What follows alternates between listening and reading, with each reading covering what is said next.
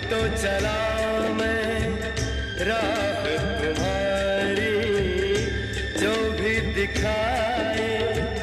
चाह तुम्हारी बस्ती सुन ले